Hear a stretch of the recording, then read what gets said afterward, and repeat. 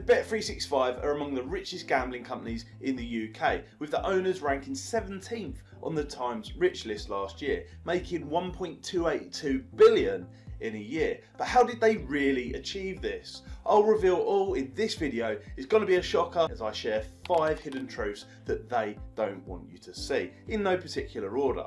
Starting off with number one, smoke and mirrors to create an unlevel playing field. The average viewer is oblivious that they're being tricked and fooled here. I believe that Brian from J4P said it best when he said that they operate a ban or bankrupt strategy. If you're any good, you get banned, and if you're useless, you get a VIP manager who'll keep you gambling. Bet365 pioneered this approach since formation in 2000. It's mad to think that they started this from a porter Portakabin on the edge of a car park in Stoke back then. But the really crazy thing is the masses still don't realise how grossly uneven the playing field is today. If you're logged out, you'll likely see delayed information, and if you're logged in, you'll get a bespoke experience. If you're scraping information, looking at prices, then you'll see something else, or you might even get blocked. In the past, 365 employees have spoken out about the methods that they were using against sharp players, using algorithms and computer science for a total stitch up. They even boast about it in adverts with Ray Winstone, and the company statements talk about advancing artificial intelligence. A 365 whistleblower said that winners were labelled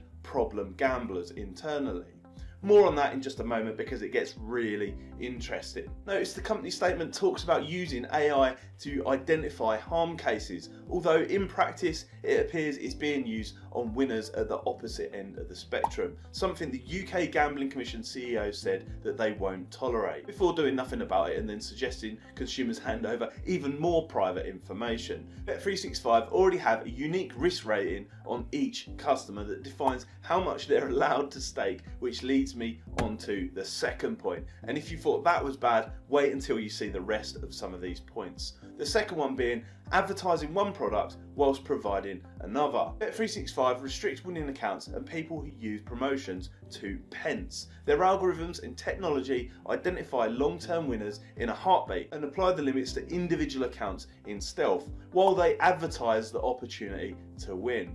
On Bet365, the maximum deposit limit is £500,000 per month but only if you're a loser who's sending them piles of money. If you're a winner, you'll be deposited to something like £15. To draw a comparison, it's a bit like a bar owner who advertises happy hour but stops people who want to take advantage on entry, unless they're known drunks who will carry on spending until they have very little left, limiting them folks to 100,000 drinks a month just to be a responsible provider. On the other hand, Bet365 CEO doesn't face such restrictions herself, with 469 million pay packet and a 90 million glass palace being built in the countryside. I don't like to pick on Denise individually here because she's done an amazing job as an entrepreneur and the Coates family were the highest UK taxpayers last year. But there's only one reason for this big win and that's because the company's customers aren't allowed to. That's you and I. When I was state restricted several years back, I submitted a GDPR information request to see what information the company held on me. Aside from information about bets that I'd placed, there was only one note on the account. It read status internet only exchanges sharp. GDPR doesn't make the company tell you what their internal tags mean, so it's a bit of a dead end as to what that means. However, 365 whistleblowers spoke to ABC News a while back who explained that customers are assigned a risk rating depending on many factors, including but not limited to betting late, line value, checking prices, refusing reduced prices, location and sport. When you add in IP address, device tracking and information that you fill out on signing up, it shows just how many data points that they're actually monitoring here. Not to mention the three months of bank transactions that you probably had to send them for affordability. Clearly, when it comes to being smart and playing the game, it's one rule for them and one rule for us. Not particularly fair and open that the Gambling Commission claims to enforce on consumers' behalf.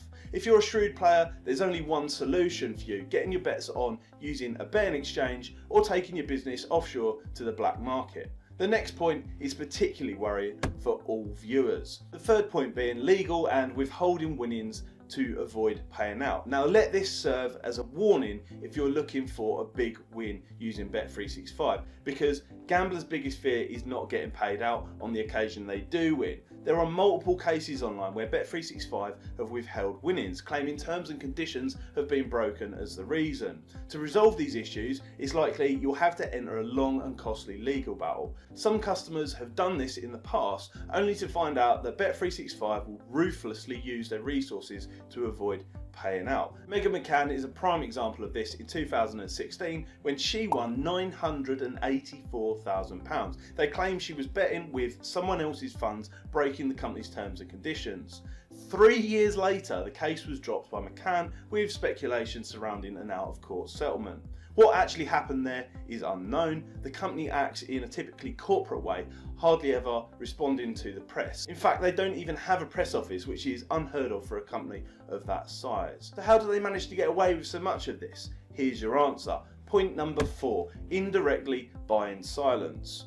Bet365's business model is built on maximising profits through the previously mentioned points and then paying the most for advertising. It's a nightmare for low margin competitors. They offer the most attractive affiliate deals, which keeps the banners on top of everywhere, all over the internet. They sponsor TV channels and industry news outlets heavily, incentivizing them to smooth over any cracks and promote the brand religiously. Honestly, they have the industry locked down when it comes to advertising. Only outside news sources and mainstream media dare challenge them from time to time many of which turn off the comments and triple check their news articles to avoid legal action, or so I'm told. Again, it's savvy business from 365. Effectively, they're buying silence and customers are paying for it. Yep, the very people that they are exploiting are paying to keep them things going. And as if it couldn't get any worse, the fifth point that I really need to make here buying losers. They don't just pay for masses of media space, they pay their ideal customers to keep on betting too.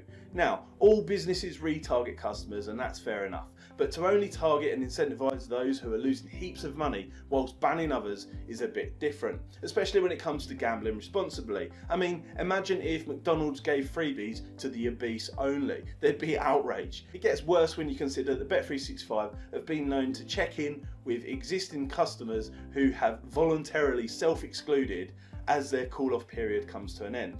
Setting a daily deposit limit of say, I don't know, £5,000 just to be safe.